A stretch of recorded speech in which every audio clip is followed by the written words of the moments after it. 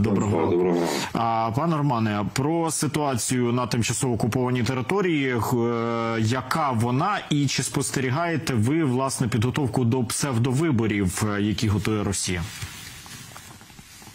Так, ця підготовка триває. Дуже багато агітацій, дуже багато різних публічних е, заходів. Е, Організовані в принципі всі е, політичні процеси, е, сформовані комісії. Вчора, за нашою інформацією, дострокові вибори стартували на Донеччині. Е, Сьогодні вони мають е, стартувати на Луганщині.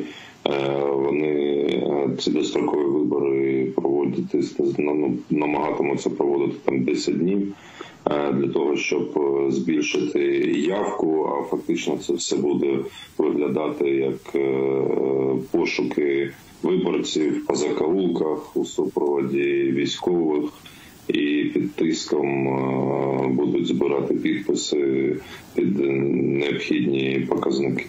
А скажіть, а кого залучають е, до власне роботи на цих виборах? Це приїжджі чи це місцеві колаборанти?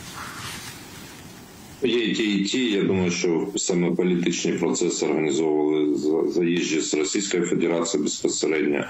Е, Навіть е, в більшості випадків е, кандидати в депутати там чи як вони там називаються.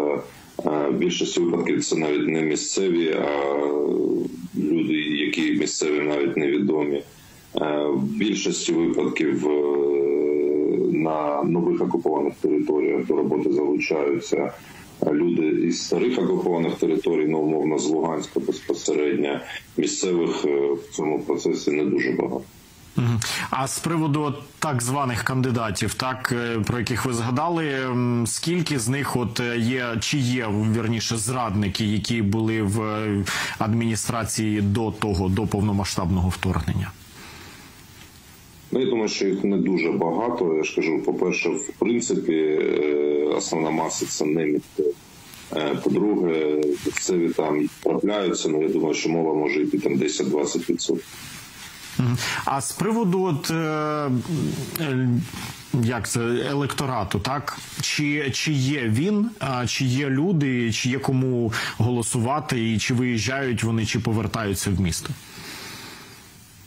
Ну, я думаю, безпосередньо з виборами е, це не пов'язано. Те, що люди виїжджають або не виїжджають.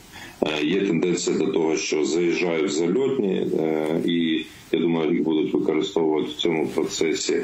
Е, е, Можу сказати, що і наше проукраїнське подпілля е, долучається до цих процесів, і відбувається там певна агітація щодо неучасті місцевих мешканців у виборах.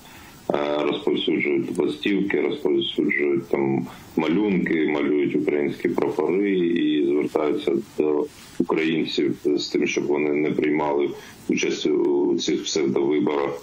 Але насправді я думаю, що сам е, саме це рішення про те, що дострокові вибори відбудуться 10 днів, це показник тому, що вони хвилюються про те, що явка буде дуже погана. Почули, почули. Дякую вам, пане Романе, що долучилися.